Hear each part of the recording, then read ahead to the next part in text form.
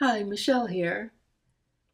I'd like to talk about something that I've struggled with, and I bet most of us do.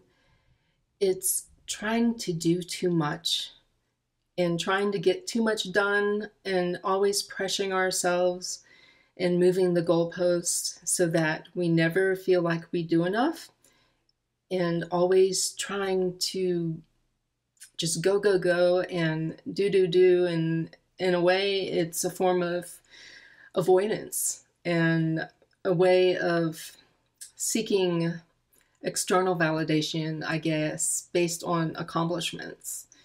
There's so much emphasis and obsession to me on being productive and being successful and all the external trappings of the world.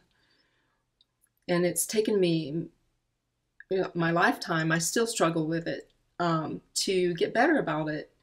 And what I've discovered is that the best measure of success is the way that you're living each day, how much joy and fulfillment and meaning and just joy in the presence of life and being and just being. If you appreciate every day to me, that's most important. And also spending time with people you love and creating beautiful memories. That's what matters most is how you live your life and how much you enjoy your life.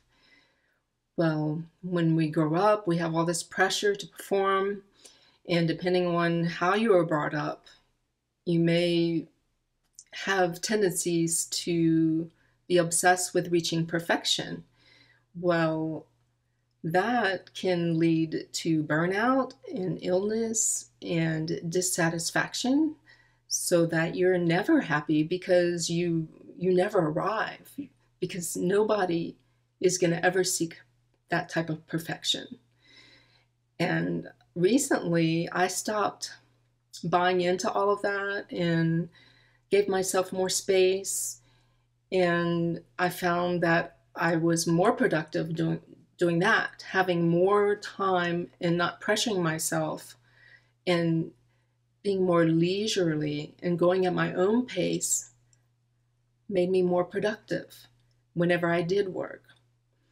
And I found throughout my life that there have been times where there are times in your life when you're really, really busy, and then it reaches a point where your life shifts. For example, when my kids were little, when both of them started school, I found myself with this extra time.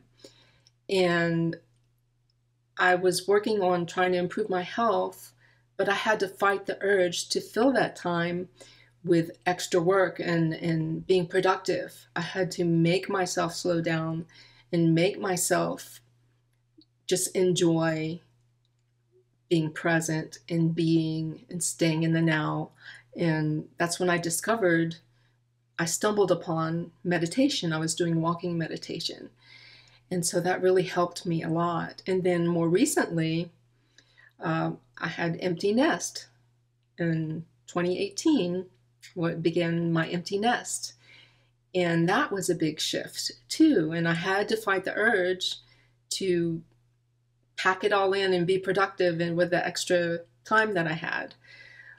But now, uh, especially with the pandemic and with having health issues with that, with long COVID, and I had to reach back in and, and stop being so productive because my health depended on it again. So I don't know if I've learned my lesson yet or not, but I believe I'm doing much better as far as pushing myself too hard. And I'm I think lots of us push ourselves too hard and it works against us. But anyway, I just wanted to touch upon upon that topic and I hope it helps somebody. And thank y'all for watching. And if you like this video, please subscribe or like this video or comment below. Thank you so much. Bye.